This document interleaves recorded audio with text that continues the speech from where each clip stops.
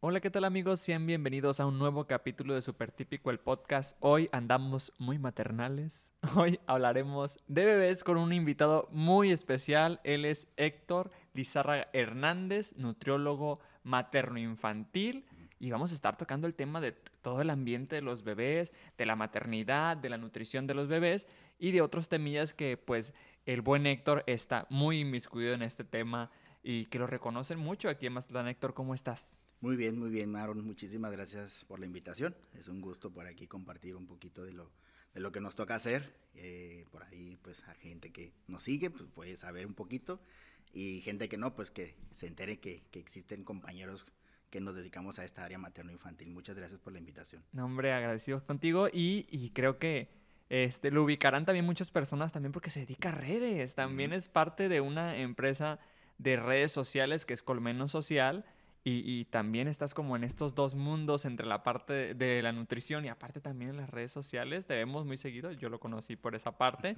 y, pero después de investigar un poquito más quién es la persona de Héctor, me di cuenta que era espectacular con los bebés y que muchas mamás en mazatlecas, sinaloenses y de México te tienen este, esa confianza, ¿no? Y hoy pues traemos ese, el tema de los bebés. Y quiero empezar con la parte este, ya entrando en materia, ya, entrándole duro, este, la parte antes de que vivimos todas las personas, y creo que tú te darás cuenta cuando ya empiezas a tratar a la primer pacientita o la persona que se acerca contigo, que decir, ¿sabes qué es mi primer embarazo? ¿Sabes que este, tengo miedo?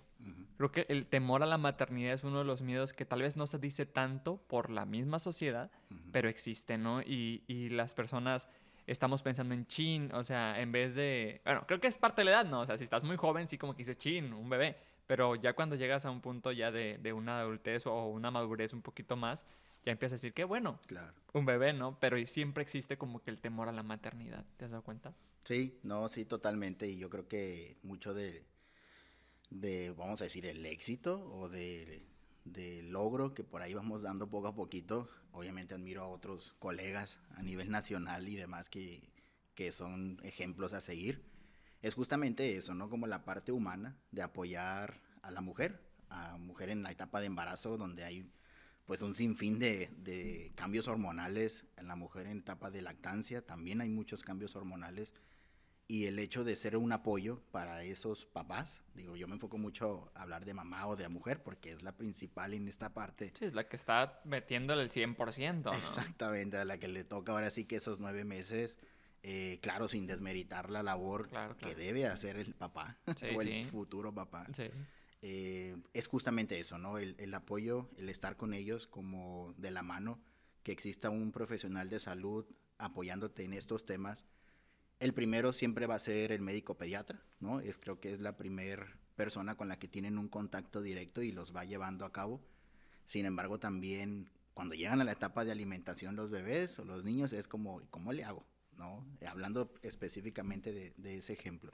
Entonces, creo que va por ahí. Eh, nos gusta ser muy eh, empáticos con las mujeres, con las mamás, con los papás también, con la familia, porque de eso depende mucho el no pasa nada, tranquilos, eh, vamos a hacer las cosas así y ustedes tienen una guía, un apoyo en el cual pueden enviarme un mensaje el día de mañana si tienen una duda incluso de cómo hacer hasta una papilla. Cosas tan que decimos son sencillas, lógicas, la verdad es que no.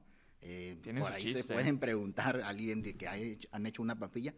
Ah, he hecho salsa de tomate, pues por ahí va, ¿no? Es parecido, entonces eh, realmente es eso. Que es muy, que lo dices tú, es una cosa tan sencilla que muchas personas le, preguntas a alguien, ¿has hecho una papilla? Y se quedan como que, nunca, nunca, nunca. Entonces, parece lo más sencillo del mundo, pero hay cosas que tienen que tomar en cuenta, ¿no? Y, y como lo decías ahorita, me, está, me brincó cuando me, me mencionaste lo de qué le doy al niño, ¿no? Que creo que es esa parte como que parte del temor de la maternidad es, ¿lo voy a hacer bien o no? Pues, y, empiezas a pensar, ¿y si no lo crío bien? ¿Y si no lo, lo puedo dirigir o, acompañar en, este proceso del inicio de su vida? Y, creo que es súper importante estar acompañado de, profesionales, ¿no? Porque ahí te da la certeza de que estás haciendo las cosas, tal vez no perfectas, pero por lo menos haciendo lo mejor que puedes, ¿no? Claro, sí, y ahorita que mencionas, Aaron, realmente lo dices bien clave, profesionales. Sí. Eh, ahorita que quizá vamos a platicar un poquito de cómo inicia todo esto. Eh, claro, no estaba en mis planes, ¿no? En algún momento quisiera dedicarme al área materno-infantil. Creo que hay muchos momentos de la vida donde te van orillando a ciertos lugares donde ni siquiera te imaginas. Y, poco a poco todo suma. Creo que al final dices, estoy en el lugar que me corresponde estar. Y volteas atrás y dices, oye, pues todo esto fue parte del proceso para que estés en ese momento, en ese lugar. Eh, creo que que el área materno-infantil, repito, es un área realmente muy, muy linda, donde depende mucho el estar eh, escuchando a los papás, el que sea un profesional de salud el que te va a una recomendación, porque, repito, como surgimos un poquito fue generalmente en pandemia, donde empezamos como a dedicarnos cada vez más de lleno en esto, pero en esa pandemia justamente también las redes sociales fue un boom, ¿no? Y ahorita que dabas la introducción con la parte de, de, la agencia de redes sociales, pues nos gusta el, leerlas, el escucharlas, el verlas, que a mi esposa Andrea le he aprendido muchísimo. Es la Saludos, Andrea. Saludos, Andrea. Es la razón principal del por qué eh, sé manejar eh, un poco las redes sociales. Obviamente no eh, habrá otras personas que lo hacen 10 veces mejor que yo. Y en esas redes sociales existen mucho la recomendación por personas no profesionales. Entonces, a eso quiera llegar. Influencers, quieran llamarles, eh, mamis que tienen la experiencia de eh, ejecutar de cierta forma, vamos a decir, esa parte. Soy mamá, tengo a mi hijo y lo estoy alimentando, sea o no asesorada, se desconoce, pero que comiencen a hacer esa parte de recomiendo a todas las que me sigan hacerlo de esta forma. Sabes que, me brinca ahorita eh, bastante que es cierto, o sea, hay, personas que se dedican en redes sociales a hacer como que este contenido de esto es lo que le doy a mi hijo, pero realmente no están sustentados en algo profesional, ¿no? Y empiezas como que a querer copiar esas cosas y realmente no es lo correcto. Te menciono, hay muchas mujeres que la clásica que le dicen la, la señora de Tijuana, que agarra y empieza a hacer un mega lonche con dulces y fruta y comida, y o sea, es que unos lonchezones gigantescos pero realmente no sabemos si están sustentados o son realmente sanos para la persona que los está consumiendo, ¿no? Y creo que eh, ahorita que mencionabas estas mamis, por ejemplo, Lori, que está haciendo, hace un buen trabajo, porque la verdad em, amalgama muy bien contigo, o sea, hace sus comentarios de qué es lo que está viviendo al día a día con el Jorgito, qué es lo que está viviendo al día a día con... Ay, se me escapa el nombre de la niña. Cordelia. Cordelia, me es que tenía su nombre de así del medievo, bien padre. Este Cordelia, y lo hace contigo y amalgaman muy bien y, creo que ayuda con la experiencia que está viviendo y aparte la parte profesional, ¿no? Totalmente. Eh, y ahí por ahí vamos a compartir un poquito, Aaron, de cómo inicia ahora sí esa parte de por qué nos dedicamos al área materno-infantil. Eh, primeramente trabajé en una empresa, digo, creo que no hay problema mencionar no, adelante, Adelante, Una empresa que tiene muy buena expertise en el área eh, infantil, bueno, materno-infantil, que es Nestlé, Nestlé y Gerber. Ahora sí que Gerber es parte de Nestlé de unos años para acá. Antes sí eran empresas totalmente separadas. Eh, terminamos de elaborar en esa parte. ¿Qué nos tocaba hacer? Pues hablar con médicos pediatras, hablarles de, sus, de las fórmulas infantiles de la marca, de las papillas, alimentos, galletas, todo lo que tiene Gerber y Nestlé, ¿no? En este caso, ok, eh, después terminamos de elaborar, es como que termina esa etapa. Ok. Y estando justamente en la agencia, con Andrea en conjunto en redes sociales, eh, de repente surge pues la necesidad ahí de eh, dedicarnos a algo en la nutrición materno-infantil y cómo surgió primeramente no dejé el área, era como un gusto mío. quise compartir un poquito como el proceso ya. Quizá me estoy alargando un poquito más. No, no pasa nada, adelante. Este, regresando, eso fue en la Ciudad de México. Entonces, regresando de la Ciudad de México para acá, nunca quisimos dejar la nutrición de una u otra forma. Pues, por eso me dijiste las chaparritas, por eso lo ubicaste bastante. Exactamente, rapidísimo, que estuvimos allá unos que yo creo que como ocho años más o menos. Entonces ya nos tocó vivir por allá. y regresando, que la intención fue esa, como emprender un negocio del cual iniciábamos eh, platicando con Andrea, una agencia de redes sociales, pues ella es la experta en ese tema. Okay. Poco a poco nos quedamos ahí, pero yo no quería dejar de lado la nutrición, ¿no? Es como, eh, me gusta mucho, o sea, no la quiero dejar como de lado, Porque es parte de, lo eh, que... Exacto. Sabemos que a veces está como la parte económica que sí llama mucho, pero siempre está esa pasión que tiene cada persona que, que tiene que desarrollar y tiene que seguir. O sea, hay personas que, por ejemplo, son ricas, millonarias, tienen mucho dinero, pero siguen haciendo lo que les apasiona, ¿no? O sea, más allá de que necesiten trabajar o no. Claro, sí, sí. ¿Y cómo fue la forma de no dejarlo como tal? Pues realmente fue en cuanto regresamos, este, seguimos en el área de nutrición como docente. ¿no? En mi universidad, mi Universidad Autónoma de Durango, también, por ahí un saludo a todos. A todos los de la Durango. Egresados, no egresados. y, y, ahí empezamos con el área nutrición, o la materia nutrición pediátrica, ¿no? Hablando de niños y de niños, pues fuera, era lo de, de una u otra forma nos habíamos especializado o, o en de cierta forma orillado en esa área. Entonces es como, sí quisiera dar clases en esta área, pero si me das otra materia, la verdad es que tengo años que no, no, me actualizo, no la aplico y desconozco totalmente. Y ahí seguimos en esa parte, y ahorita que mencionabas la, la, la parte de Lori, precisamente, en esa etapa fue justamente cuando Jorgito iniciaba a comer, ¿no? Mm, Entonces ahí coincidimos, eh, siempre lo he dicho y también lo, lo, menciono en este, en este podcast. Em, hay dos personas que por ahí fueron claves, realmente. Una fue Andrea, precisamente, que fue como el enlace, Andrea es mi esposa, que fue el enlace con Lori, donde ella pues también seguía su contenido de lo que, lo que hacía Lori antes de Jorgito y demás. Sí. Y lo relaciona como, oye, Héctor, mi esposo tiene un poquito de conocimiento en esto, eh, por si te interesa, lo puedes seguir, se lo pasa a Lori. Y de ahí comienza lo mismo, oye, quien a Lori le agradezco también muchísimo, es otra segunda persona que, que fue muy, muy como... Importante en el Importante en el inicio, exactamente, porque pues a ella le llegaban eh, preguntas de otras mamás y era como, oye, yo no soy profesional de salud.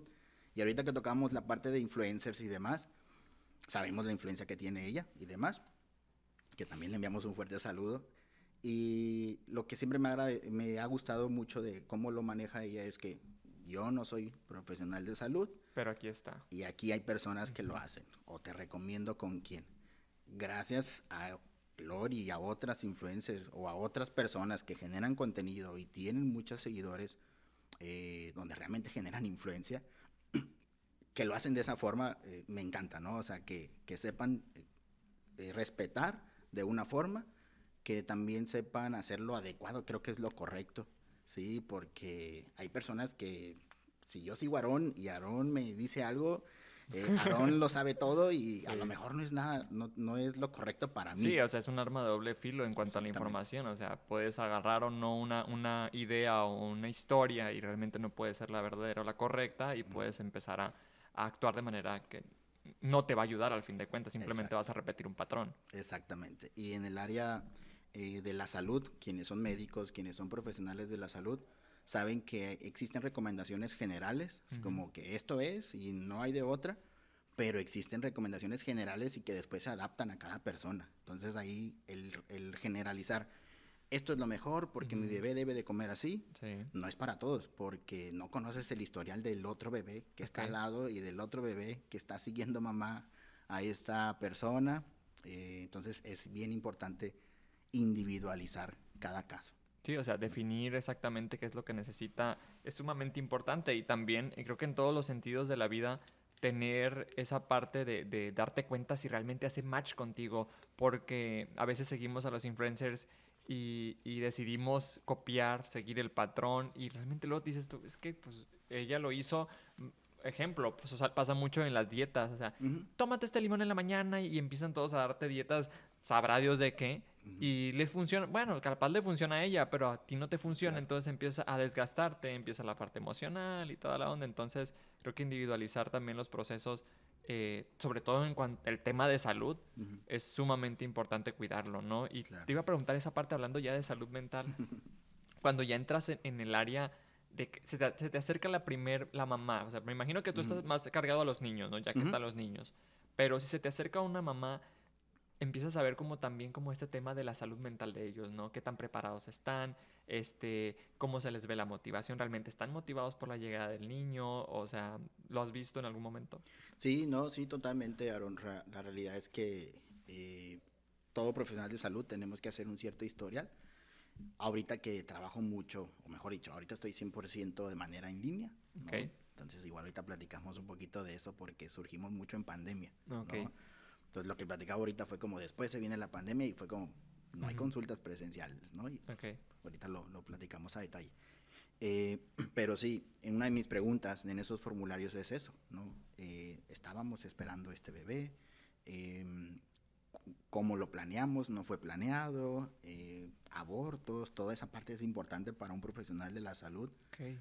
Porque pues al final influye, influye en la forma en la que van a abordar cuántas personas viven en la familia. Eh, hay, eh, hubo abortos no, no, no planeados, obviamente, ¿no? Entonces, todo eso influye en la parte mental, cuando ve una persona, cuando es la parte también de pareja, así que también eso influye muchísimo. Hay preguntas enfocadas un poquito en eso, porque el apoyo del papá cuando... Está presente, no está presente. Exactamente, y no solamente mental como tal, existen cambios en la mujer, por ahí muchos quizá lo han escuchado, lo han leído, por ejemplo en la parte de lactancia, si el papá está presente en el momento del parto, realmente influye en que la lactancia se dé más fácilmente. Ah, caray, ¿cómo? no es nada más como que el papá tenga poderes o demás, pero genera a nivel hormonal la producción o la baja de la leche del mamá en el momento del parto.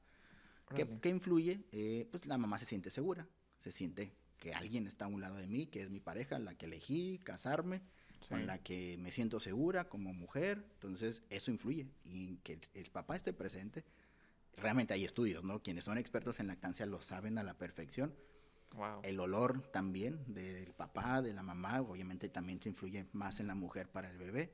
Entonces, todo ese aspecto mental, ¿qué tanto apoya papá o qué tanto apoya eh, la pareja masculina? Tanto antes, durante, después del parto, pues realmente influye muchísimo.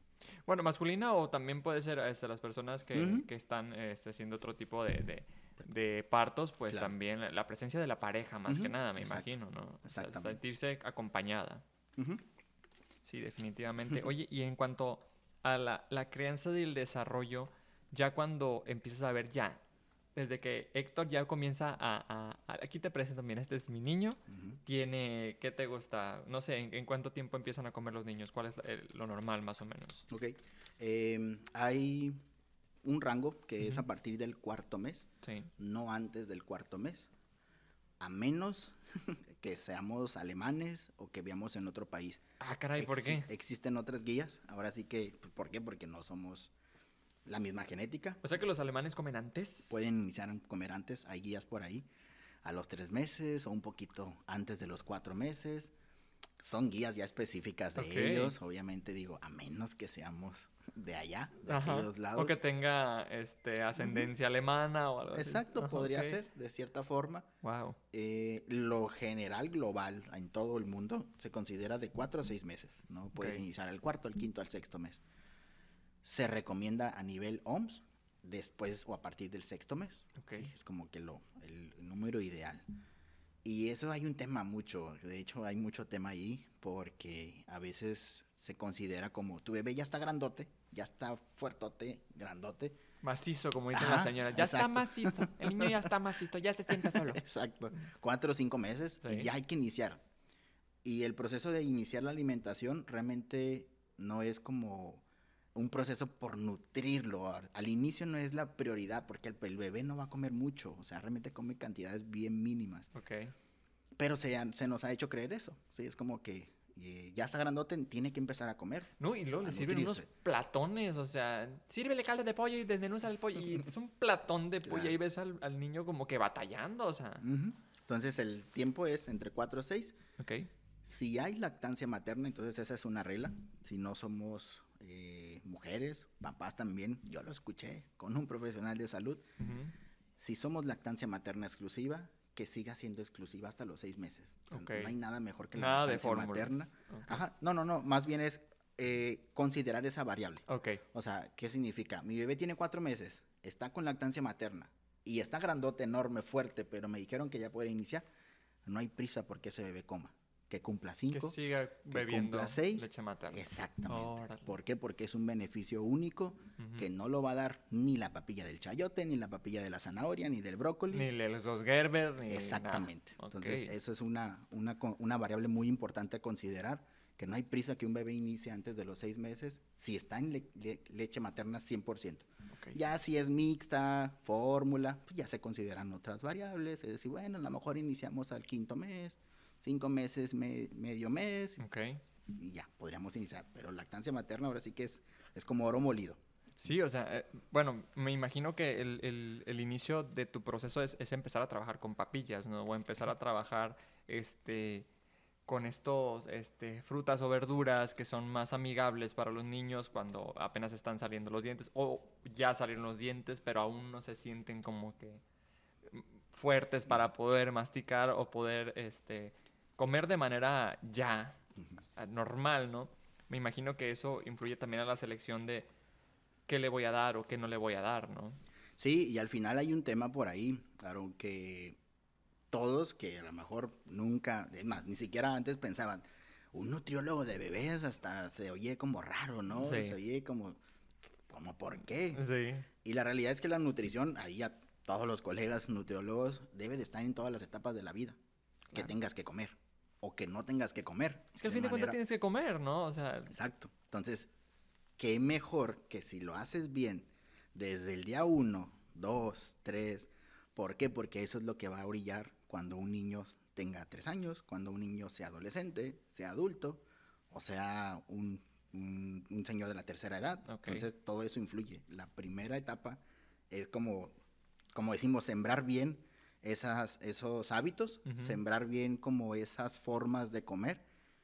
Y si lo hacemos mal, pues ¿qué se espera, no? Que el árbol crezca medio torcido. Sí, árbol que nace torcido. Exactamente. Entonces, esa es la importancia de que desde un inicio las cosas se hagan lo mejor posible dentro de las posibilidades. Sí, lo que empieza bien, este, termina bien, ¿no? Y, lo, digo, sí, porque, bueno, por ejemplo, por mi parte, pues si te fijas, este, yo tengo unos, unos temillas ahí de, de nutrición medio batallosos, pero sí, o sea, de hecho, el, mi inicio y mis etapas eh, de nutrición a lo largo de mi vida, pues algunas fueron, este, se podría decir que buenas, pero yo sí, sí, yo sí fui de la cuna de siéntalo y dale el platón de sopa, siéntalo y, que ya coma, o sea, yo sí, sí fue así. Y ahora este, me llama mucho la atención este, nuevos métodos de, alimentación, métodos que creo que son más amigables para los niños, menos, menos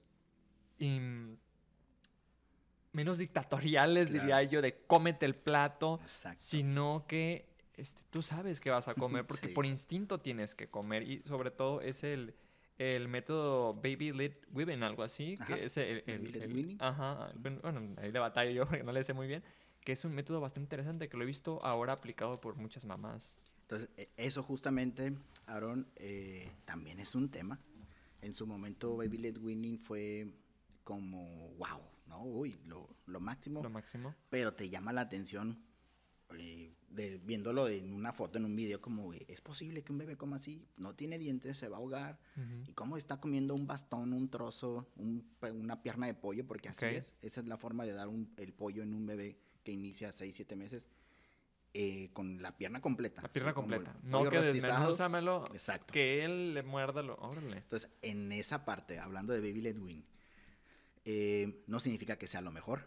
¿sí? Entonces también dejar bien en claro eso. Y ese es uno de los principales errores, como ahorita que hablábamos de influencers o de mamás que tienen la experiencia de decir esto es lo mejor. ¿no? ¿Por qué? Porque la evidencia científica, lo que los profesionales de salud, como en mi caso, tenemos que recomendar es, ¿es mejor o no es mejor hacerlo de esa forma?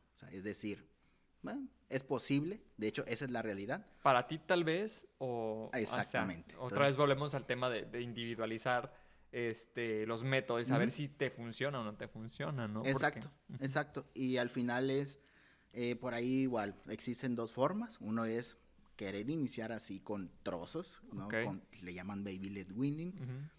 O querer iniciar, le llamamos método tradicional. Método tradicional es papillas suaves, papillas más grumositas, papillas un poco más espesas y en dos, tres meses pedacitos desmenuzados, cuadritos chiquitos, trocitos finos, se llama.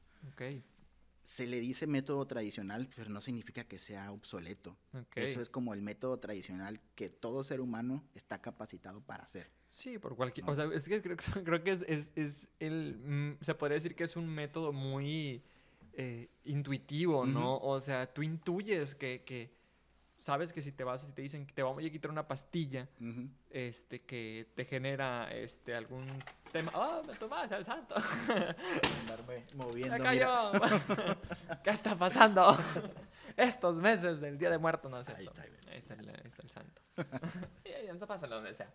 Em, eh, como te decía, que tú mismo debes de preparar al cuerpo, ¿no? O sea, y, y creo que cuando, como hacemos, es, creo que el ejemplo es cuando hacemos ejercicio no vas a empezar a correr un maratón de la nada. O sea, siento que debes de ir primero paso a pasito, este kilómetro por kilómetro, este, haciendo que tu cuerpo se adapte. Y, creo que el, método tradicional eh, va por esa parte, ¿no? Primero, poquito para que lo pruebe, segundo, para que lo empiece a poder consumir, después que ya veas que se lo come, vas creciendo, ¿no? Poco a poco. Y, hay una, una forma, por ejemplo, a mí me llegan las mamis. Generalmente es el primer contacto, una mami. A veces son los papás también. Claro. A veces meritamos a los papás. Claro que no. y nos dice, oye, pero yo quiero iniciar con Baby Led Winning. Pasa eso. Mm, ok. Personalmente, a mí no me gusta hacerlo. No porque no sea posible. Y la forma en que todo eso, vamos a decir, o esa petición, no se derrumba, pero se aclara, es como, yo les pregunto, oye, ¿y por qué quieres iniciar con eso? Y es como, porque, lo, vi. exactamente. porque lo vi en el Facebook. Porque lo vi en, Instagram, porque lo vi en Facebook. Y es una.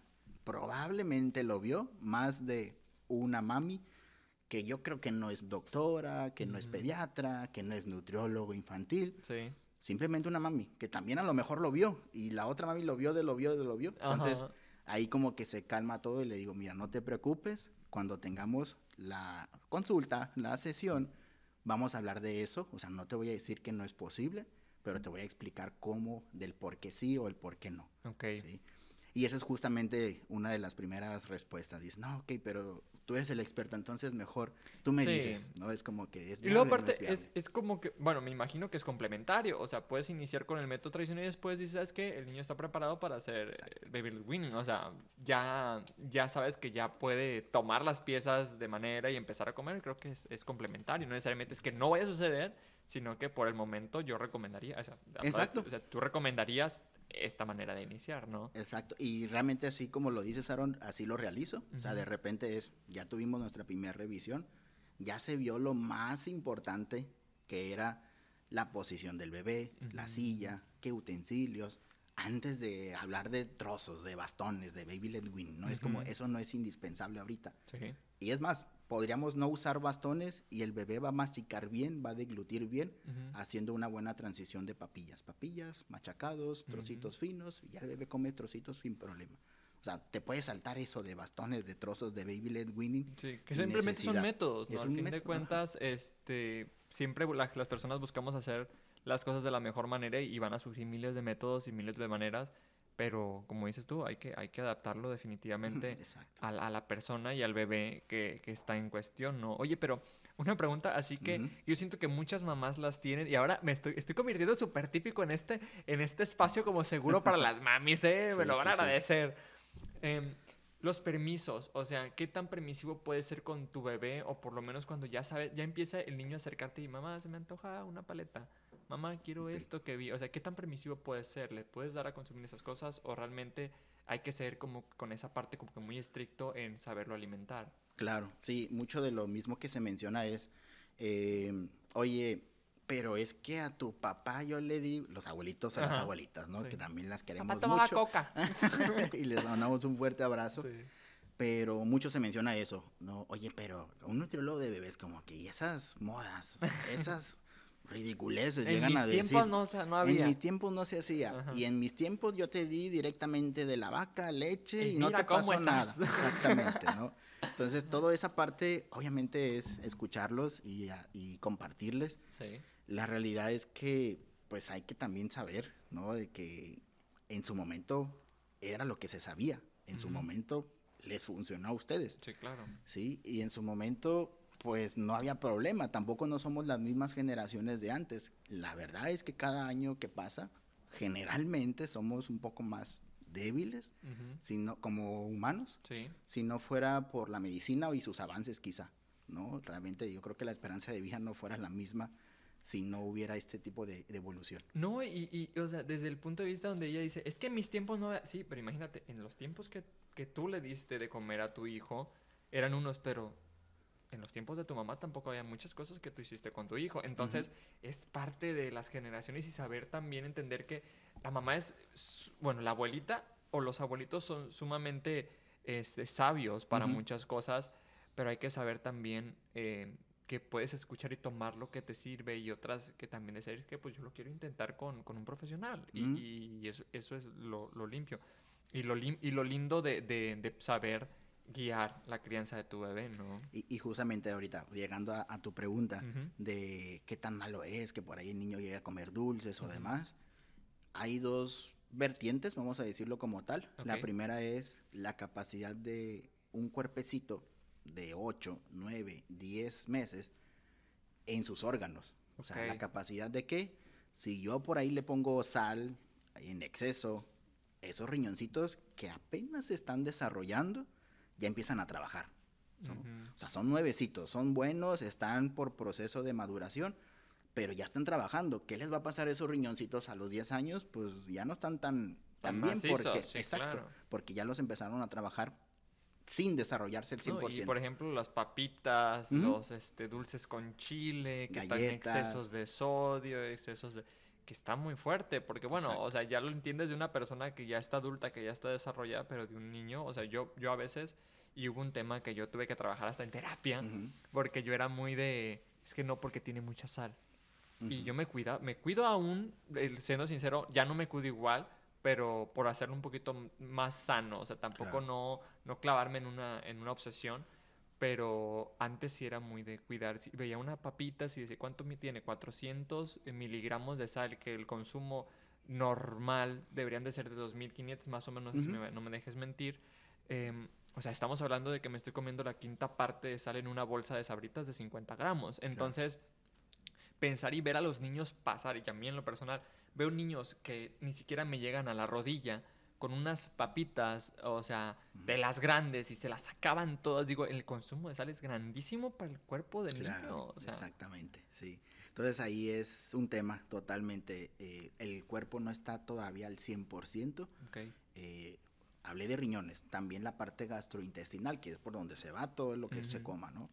Tampoco está al 100%, ¿no? Entonces, en esta etapa que muchos por ahí lo han escuchado, leído, llamado alimentación complementaria, es esto, a partir del sexto mes, que empiezan a comer los niños los primeros alimentos complementando con leche, o sea, mejor dicho, el complemento es la comida, porque es poquito. Lo importante es la leche, hasta los dos años. Y siempre a, los pacientes les pongo el ejemplo de los mamíferos, ¿no? Un mamífero que recién nace está con mamá, llámese un león, ¿no? No puede cazar, no puede comer carne, ni siquiera puede correr para ir por la presa. Llega a un punto donde lo puede hacer. Entonces, algo similar al niño, cuando ya lo puede hacer, que ya coma bien, que ya come, su cuerpo digiere bien, dos años de vida. Es cuando ya el niño es como... Órale. Ahora sí, que coma. Que coma. Entre comillas, de todo, hablando saludablemente, ¿no? Entonces, ¿qué, vas, ¿qué va a comer el niño? lo, que, lo que aprendió atrás. Sí, tampoco le vas a dar pozole, ¿no? O sea, también imagínate, o sea, por más que digan que, que, ya puede comer, o sea, también te, fregarte un pozole es como que es muchísimo, muchísimo condimento para un niño, ¿no? Exacto, sí, entonces ahí la recomendación es cuiden a su pequeño lo más posible antes de los dos años, o sea, la etapa de alimentación complementaria, para que ese arbolito que se acaba de sembrar en la alimentación tenga las bases más fuertes ¿no? De, ese abono o demás, que no se acostumbró a comer galletas todos los días, que no se acostumbró a comer jugos, tomar jugos y demás dulces todos los días, para cuando llegue a los dos años es los coma tranquilamente sin... Eh, sin exceso, pero ya pueda comerse un... Sin etiquetar, ¿no? Eso es malo, esto es bueno. Simplemente es, ahorita tu cuerpo ya lo acepta mejor y cerebralmente tú te acostumbraste a que esto no es normal, pero que tampoco es malo. Ok. Entonces, ese es el proceso un poquito de los primeros dos años de vida, que el niño aprenda eso, los padres aprendan eso y le, inculquen eso a, los pequeños para cuando llegue esa etapa, oye, pues si vamos a una fiesta se puede comer tranquilamente porque es una fiesta y es algo de, de es algo que sale de ajá. y, y, pero no es algo que los niños coman galletas marías los niños comen dulces los niños comen dulce existe mucho ese comentario. La verdad es que el niño no, no es sinónimo de dulce no se ha creído a través de los años esa sí o sea lo han generado es que eso, es, eso es muy muy chistoso porque este el cuerpo y las personas generamos la dependencia cuando lo pruebas no y cuando repites ese patrón. Pero me ha sucedido, bueno, yo ya estoy viejo, ¿verdad? No tengo nada que ver con los bebés, pero creo que es un ejemplo muy, muy importante es em, cuando dejas de comer o consumir ciertas cosas, le pierdes el gusto, o sea, y realmente dejan de antojársete tanto. Me pasaba porque yo era muy de consumir muchas abritas, de comer muchos, este, chucherías, esas cosas, y cuando dejé de, de consumirlas por cuestiones de que yo quería tener una salud, una, una alimentación un poco más saludable. Em, ahora veo las abritas y, pasan y gustas y mm, no. Y, y, o sea, ya, ya, me, ya me permito comerlas. O sea, hace poco ya me permito comerlas, pero ya no siento como que esas ganas de comerme. Y creo que cuando al niño le empieza, pues dale una galleta, porque anda ahí. O sea, el niño no sabe ni a qué sabe la galleta. Entonces, ¿para qué se la vas a ofrecer? Se le antojó. Se le antojó. No se le antojó, o sea, ni siquiera sabe qué rollo, no ha probado. Entonces, ya cuando tú le empiezas a dar galletas, es como que ya el niño empieza a generar, ay, pues yo quiero galletas porque me gustaron como, entonces tú mismo le pones este eh, la navajita para que se corte, ¿no? Y sabes una cosa y te voy a platicar, este, te voy a compartir una, una historia que tal vez van a decir, por eso estás re loco, pues re loco. Pues sí, por eso estoy re loco. Eh, y no me juzguen. eh, cuando yo tenía, este, ¿qué te gusta? ¿Cuatro o cinco años? Em, mi papá, pues, hacía sus reuniones con sus amigos. No le digan nada a mi papá, es muy buena persona. Estaba, se sentaba con sus amigos y yo a escondida llegaba y veía las ballenas. ya se imaginarán. Llegaba en la ballena y a escondidas, ¡pum!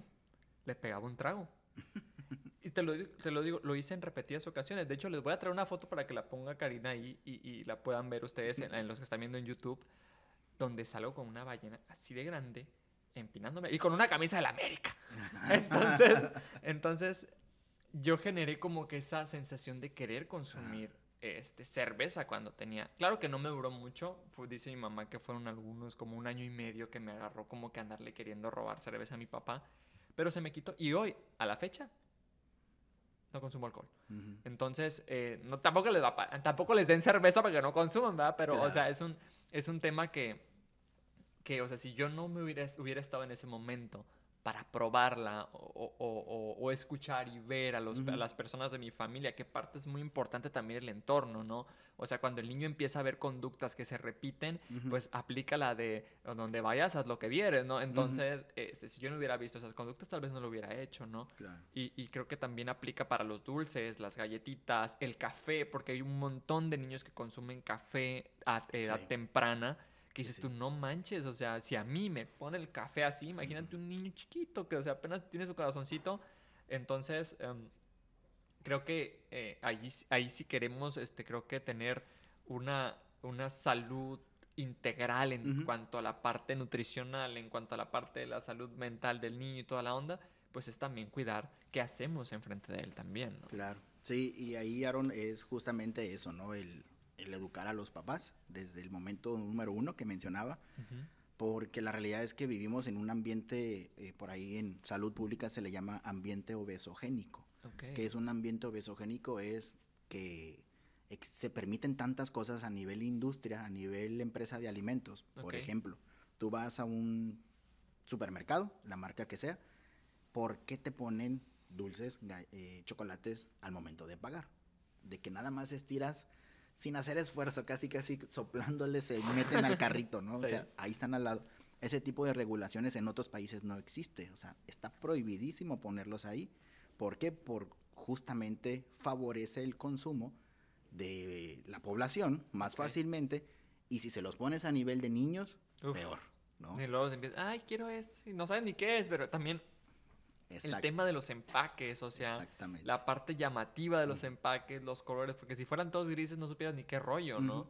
Sí. Y, bueno, esa parte de marketing, pues sí, ya tiene bastantes años donde se hizo más sencillo, como que en los mostradores, en las partes donde ya es a la hora de pagar, donde ya la mamá se quiere ir del supermercado y dame, mamá, este chocolate, te, ándale, que, y pues, ¿qué dice la señora? Pues ya échalo. Claro. Vámonos, pero ya échalo. Entonces, eh, se juegan con esa parte, ¿no? Sí, y ahí, pues justamente es, nuestro trabajo es a papá y a mamá, tú tienes el control de lo que vas a sembrar en tu bebé aquí en casa, porque también un tiempo se criticaba mucho a las escuelas, a las tienditas de la escuela que vendían puros dulces y demás. Pero ¿qué aprendió tu hijo antes de ir a la escuela? Tu hijo de seis meses, ocho meses, no va a la escuela y no camina para decir, quiero unas sabritas, quiero una. ¿Y, quién trae el dinero? Exacto. fin de cuentas. O sea, e, eso, ahorita que me lo mencionas es, es, sumamente importante porque al fin de cuentas, cuando te paras en la, en la caja y aunque tenga el chocolate por un lado y te diga, mamá, quiero este chocolate, tú traes el dinero y tú sabes si se lo vas a comprar o no. Y si tú decides que no, es no, al fin de cuentas tú tienes el control. Sí, y siendo sinceros, ha habido cambios, sí, por ahí empieza a haber regulaciones con las mismas tienditas en escuelas primarias, por ahí el nuevo etiquetado también ya nos da como cierta eh, idea de, oye, eso tiene cuatro o cinco sellos, pues es algo malo, ¿no? Si tiene menos sellos es mejor. Sí. Eh, todo va poco a poco, pero a eso vamos, ¿no? Lo que puedan hacer como papás sembrar bien ese tipo de o forma de alimentar a un niño que aprenda lo que esto es normal, esto es lo correcto o esto es lo normal porque el niño no sabe qué es correcto y qué no es correcto. Está en ese proceso de aprendizaje de la vida, claro. Pero en alimentación es a mí me dijeron que esto es normal, yo lo hago y lo repito. Sí. a mí me dijeron que esto es normal, comer alimentos que pues o productos procesados, pues lo va a repetir toda la vida y cuando tenga la oportunidad de que ya lleva dinero, tiene cinco años, que va a comprar? Pues lo que aprendió en casa. Sí, o sea, ya, ya, los 10 pesitos va a ir a ver y no va a ir a comprar una fruta. Exactamente. Va a ir a comprar unas sabritas, o sea, al fin de cuentas. Entonces, ese ambiente obesogénico que tenemos en México, porque pues ya es como un, un comentario muy repetido, ¿no? Que la obesidad es de los primeros países, México a nivel México número uno, ¿en qué? No obesidad. Exactamente. Entonces, todo ese tipo de, de estadística, realidad, es, bueno, la situación está así, afuera. ¿Qué puedes hacer tú como papá o como mamá? Pues hacer lo mejor posible de lo que está en tus manos, porque justamente en las consultas o en las sesiones les digo a los papás, ahorita tú tienes el poder, pero este niño va a crecer y va a ir a la escuela y va a ir a una fiesta y él va a decidir qué comer o va a ser adolescente. Ya no vas a tener el control. Ya no vas a tener el control. Entonces, trata de hacer lo mejor posible eh, en esta etapa que puedes hacerlo, controlarlo un poquito y cuando ya no lo puedas controlar, pues la situación sea más amena. No digo que sea 100%. Ya tenga unas bases, ¿no? Ya sepa él cómo tomar una, una decisión correcta conforme a lo que ha vivido en su experiencia, ¿no? Definitivamente. ¿Cuáles son, ya para cerrar el día de hoy, porque estuvo, se me hizo que se fue bien rápido, se me hizo una plática muy, muy interesante, pero para dejarle a las mamis y papis que nos están viendo, ¿cuáles son las claves de una alimentación este, saludable en el bebé? Claves, ok. Eh, por ahí lo pueden encontrar mucho, eso es eh, bibliografía, ahora sí que evidencia científica, se le llama alimentación perceptiva. En inglés lo encuentran como responsive feeding, ¿no? que es como alimentación responsiva. Entonces, creo que desde la parte de la palabra perceptiva o responsiva es responsabilidad y observación. Entonces, ¿cómo eh, percibes a tu bebé? ¿Cómo percibes la situación? Entonces, las claves de una alimentación es, a veces eh, se enfocan mucho los padres en el alimento como tal por ejemplo, y muchos colegas si llegan a ver este video están totalmente de acuerdo que llegando que, oye, quiero un recetario para bebés. Y es como que... Ah, caray. Para nosotros, eh, obviamente los existen, ¿no? Pero para nosotros es más importante como, oye, hay una rutina en el día a día de tu bebé, tenga seis meses o tenga dos años. ¿Cómo que una rutina? Pues sí, que a las nueve, diez, la familia se sienta a desayunar, que a la una, dos o tres, la familia se sienta a comer, o a cenar a las 7 o 8, ¿no? Cada familia tiene su estilo de vida.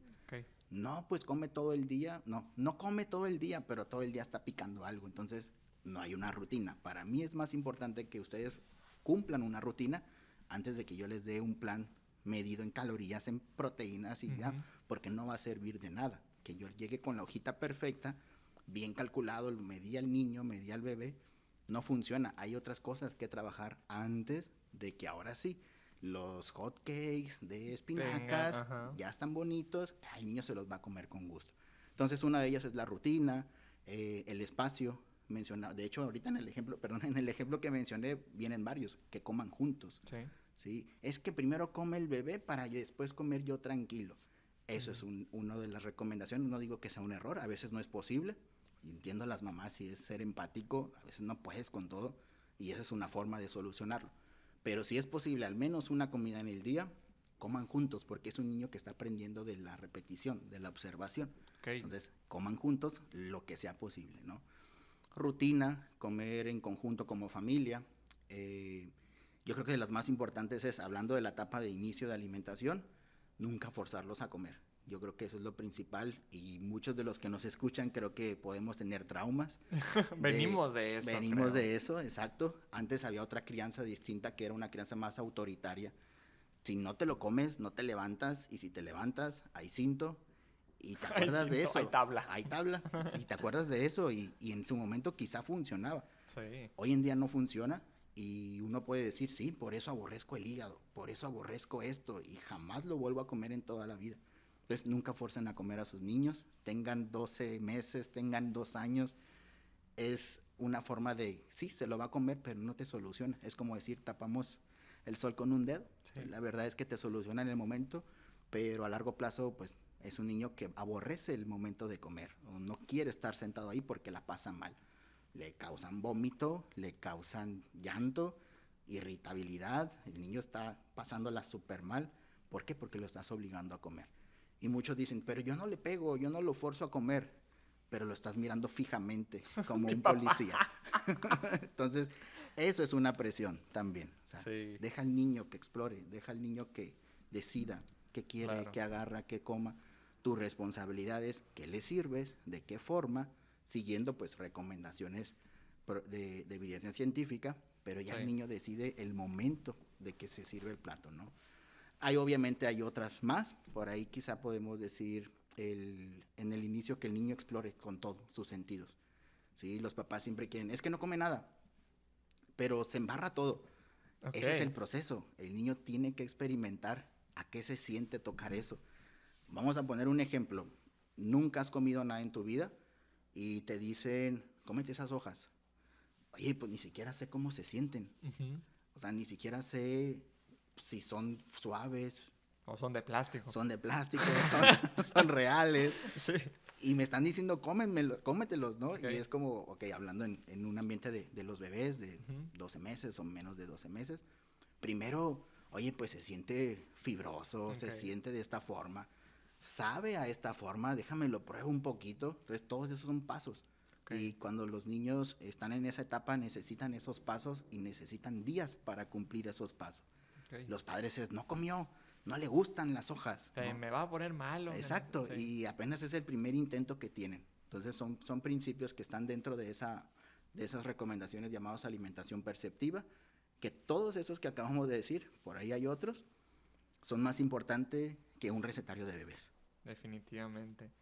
Pues ya lo escucharon. Ahí está Héctor Lizarra Hernández, nutriólogo materno-infantil creo que fue una de las pláticas más informativas que hemos tenido en, Super Típico el podcast, pero la verdad me gustó mucho, se me hizo muy rápido y este, él tiene muchísimo contenido que les puede aportar para las mamis y papis que están recién este, queriendo llevar la alimentación saludable de sus pequeños. ¿Dónde te podemos seguir, Héctor?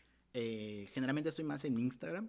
Sí, estoy como Héctor L-I-H-E. Okay. Sí, por mis iniciales de los dos apellidos. Sí. Lige. Lige, sí. Yo así le iba a decir ahorita. Héctor Lige. Entonces ahí tienen varios, varias información de contenido, muchos aspectos por ahí con materno infantil, principalmente niños. Entonces por ahí, por Instagram, por favor. Pues ahí está Héctor. Y yo me, pueden buscar en Instagram como SWDA Aaron y también en, las redes sociales de Punto .mx como Punto .mx-podcast y Punto .mx noticias, ahí pueden encontrar toda la información y ahí estamos. Agradecidos contigo Héctor, una plática muy linda, muy amena y muy informativa, yo me quedo con muchas cosas este, que compartirles a, a las amistades, pero sobre todo siempre invitándolas a ver a un profesional. Muchas gracias Héctor y nos vemos la próxima. Muchas gracias, Aaron. También un saludo a todos que nos pudieron escuchar y ver un ratito. Gracias. Ya está. Y nos vemos. Suéltame la música, Karina. ¡Vámonos!